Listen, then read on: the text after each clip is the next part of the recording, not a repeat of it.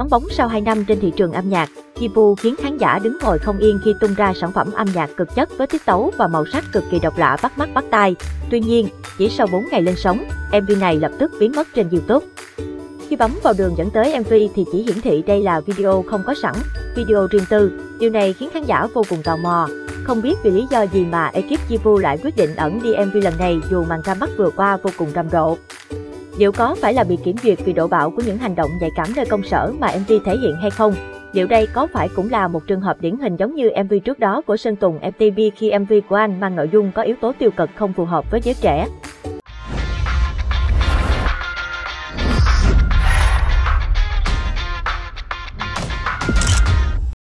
Chào mừng các bạn đã quay trở lại với ống kính hậu trường. Tối mùng 8 tháng 8 vừa qua, Jibu tung MV đầu tiên trong chuỗi năm MV đánh dấu sự tái xuất của cô trên đường đua âm nhạc sau 2 năm im hơi lặng tiếng mang tên và lắc khi con dấu chủ quyền. Phần âm nhạc được sản xuất và hòa âm phối khí bởi em trai Only Si, sản xuất Nguyễn Phúc Thiện. Được biết, Hipki là từ phổ biến trong giới trẻ, ám chỉ vết bớt để lại trên da thịt sau những nụ hôn đồng cháy.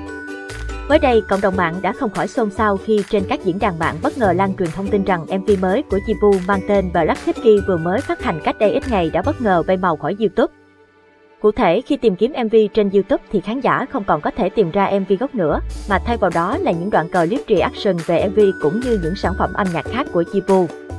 Mặt khác, một số dân mạng đã cho rằng MV này của Jibu đã được chuyển sang chế độ riêng tư nhằm để tránh những ý kiến trái chiều từ người xem dành cho những phân cảnh có phần hơi nhạy cảm. Độ bạo của Jibu trong MV cũng là vấn đề được dân mạng bàn tán trong những ngày qua. Bởi trong MV, Jibu có hàng loạt phân cảnh tình tứ bỏng mắt với bạn diễn Luigi, cả hai thực hiện nhiều cử chỉ vuốt ve thân mật, đụng chạm nhạy cảm. Một vài động tác vũ đạo của Jibu trong MV mới dễ khiến người xem đỏ mặt vì độ ướt át để đỏ mặt.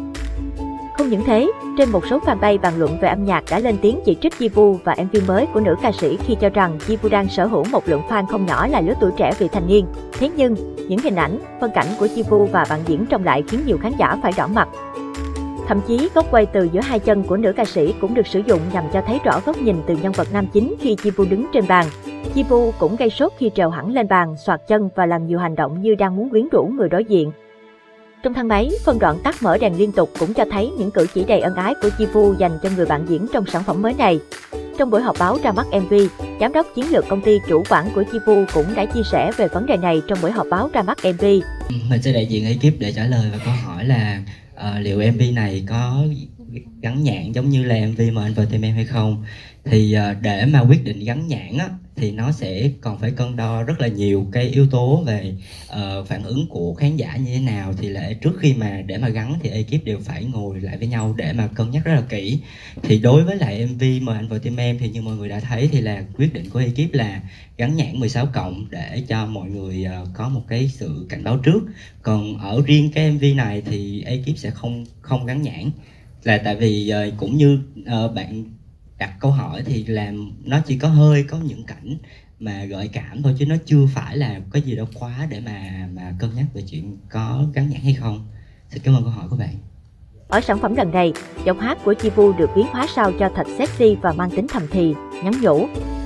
Tông bài hát cũng được điều chỉnh ở quãng vừa vặn để nữ ca sĩ không bị đuối trong những đoạn cao trào như những sản phẩm trước. MV của Chibu được đầu tư khá công phu về mặt hình ảnh với những set quay sáng tạo, đầy màu sắc, trong đó, con bạch tuộc được giám đốc sáng tạo Ben Phạm lấy làm hình ảnh biểu tượng xuyên suốt MV. Lý giải cho ý tưởng đặc biệt này, Ben Phạm chia sẻ. Hello anh, à, em xin được trả lời câu hỏi của anh thì à, các anh chị có thể thấy là MV nội dung xoay quanh một à, anh chồng thất tình và à, cô gái mê trai. À, thì à, khi mà nghe à, khi mà nghe cái title là Black Hickey và khi nào mà đọc cái cái lời bài hát thì cái hình ảnh mà em liên tưởng đầu tiên đó là hình ảnh của con bạch tuộc. Tại vì khi mà con bạch tuộc mà nó tấn công ai và nó bám tới một ai thì nó bám rất chặt. Và khi mà giật nó ra thì nó sẽ để lại một cái vết vết bầm giống như một cái vết hickey. Nên em đang muốn biến chị chi như là một ừ, cô nàng bạch tuộc. Cô ấy bám người đàn ông ở mọi lúc mọi nơi và loài bạch tuộc có thể biến, có thể biến hóa thành nhiều màu sắc khác nhau. Và cũng giống chị chi chị chi đã biến hóa thành nhiều hình tượng. À, rồi, nhân vật nữ ở trong mv đã biến hóa rất nhiều hình tượng ở trong à, uh, mv nếu anh các anh chị có thể thấy thì uh, đó là cái hình ảnh mà em muốn cài cắm trong cái mv Việc MV này của Jibu bị bay màu vì kiểm duyệt của YouTube khiến không ít người nhớ đến sự việc cũng từng tương tự xảy ra với Sơn Tùng MTV. Cụ thể, sản phẩm Yano Anh Add-on của anh bị YouTube xóa khỏi trên nền tảng vì có nội dung tiêu cực trong thời điểm nhạy cảm, hiểu rằng là việc kiểm. Duyệt của YouTube Việt Nam quá khắc khe, hay các nghệ sĩ nên chú ý gắn mát cho những sản phẩm của mình. Đây vẫn là một dấu chấm hỏi lớn cho cư dân mạng.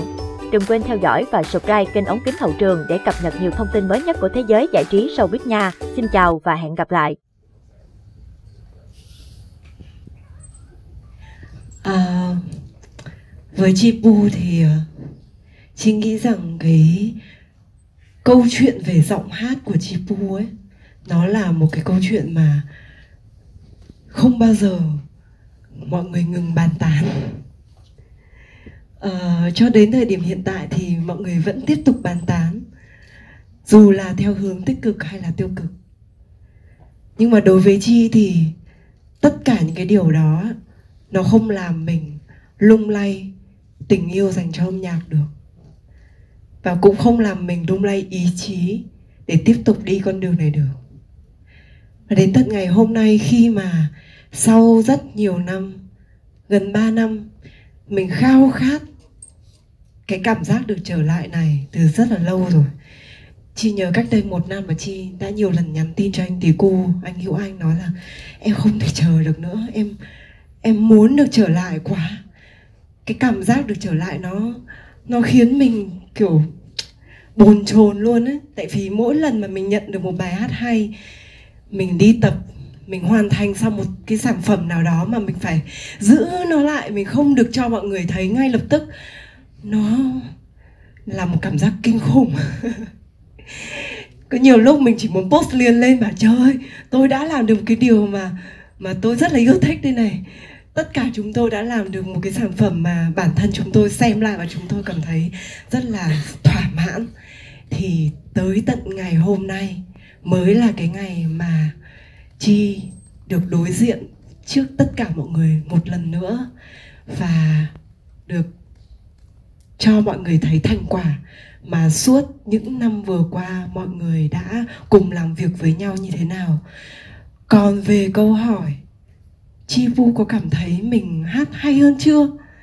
Chi nghĩ đây là câu hỏi mà dành cho tất cả mọi người đánh giá và trả lời chứ chứ không phải là chi tại vì cái việc của chi á, không phải là đánh giá chính mình như thế nào, mà việc của chi là tiếp tục nỗ lực và cố gắng và làm việc của mình thôi nên mong rằng là sau khi mà mọi người xem tất cả những gì mà không chỉ chi mà tất cả những gương mặt ở đây đã cố gắng và nỗ lực trong suốt thời gian vừa qua, thì mọi người sẽ có một cái đánh giá công tâm nhất và khách quan nhất cảm ơn mọi người rất nhiều.